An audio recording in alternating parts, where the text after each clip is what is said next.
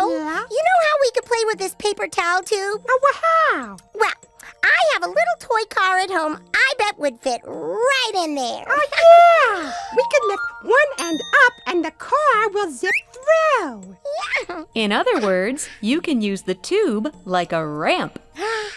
Uh, what's a ramp? Yeah. A ramp is a tool that helps something go from high to low or from low to high.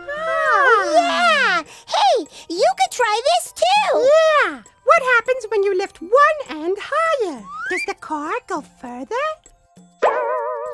Just don't lift it too high or the car might get stuck. Oh, yeah. Try to make your own cardboard tube ramp and see what happens. and to try other investigations like these, grown-ups can download